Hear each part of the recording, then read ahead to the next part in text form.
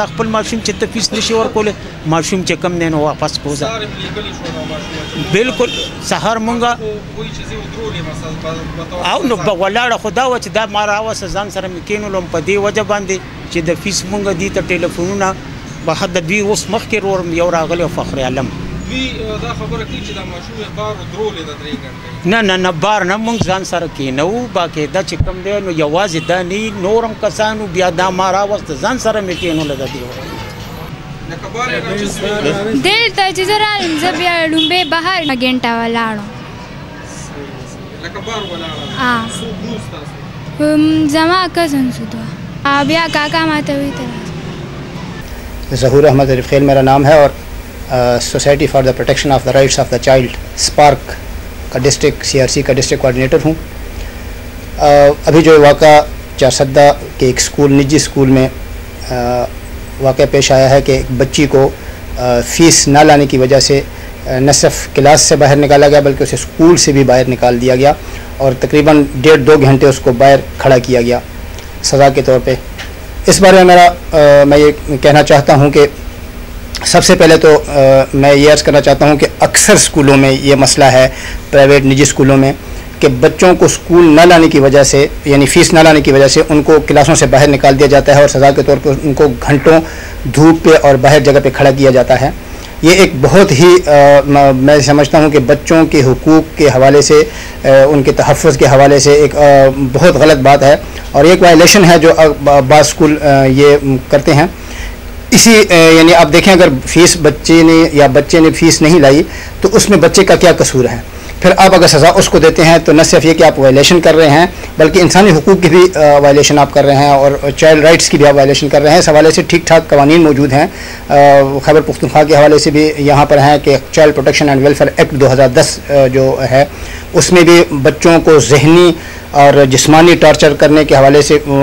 سزائیں موجود ہیں اور ان کے خلاف ٹھیک ٹھاک ایکشن لینے کے سفارشات بھی ہیں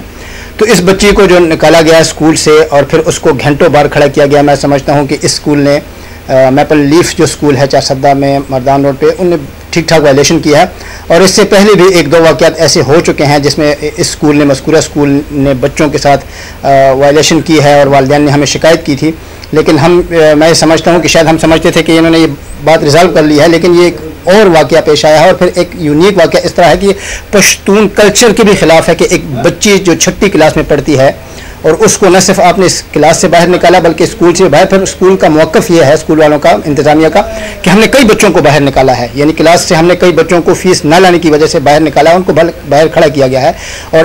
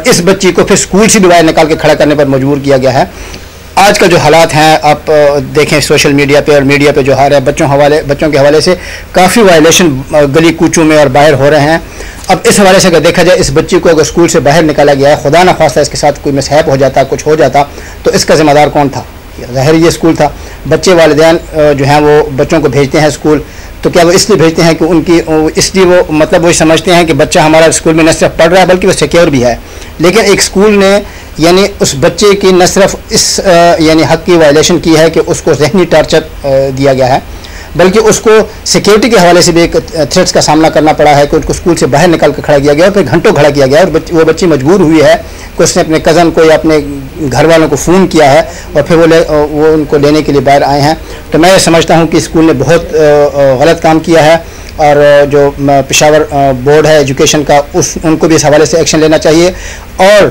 گورنمنٹ نے صوبائی گورنمنٹ نے ڈسٹرک جو کمشنر ہیں ڈی سی جو ہیں ان کو بھی پرائیویٹ سکولز کے حوالے سے اتھارٹی دی ہے ان کو اختیارات دی ہیں کہ وہ ایسے قسم کی وائلیشن جو بچوں کے خلاف ہوتی ہے تو اس پر وہ باقاعدہ ایکشن لیں تو میں ڈسٹرک جو ڈپٹی کمشنر ہیں ان سے بھی درخواست کرتا ہوں اور بورڈ سے بھی میں درخواست کرتا ہوں انتظامیہ سے کہ وہ نہ صرف اسکول کے خلاف بلکہ کہاں کہیں بھی اسکولوں میں اس قسم کی اگر وائلیشن ہو رہی ہے تو اس کے خلاف ٹھیک ٹھاک ایکشن لیں